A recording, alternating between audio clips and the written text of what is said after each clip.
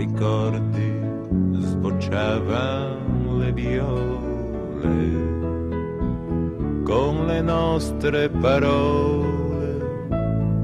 Non ci lasciavano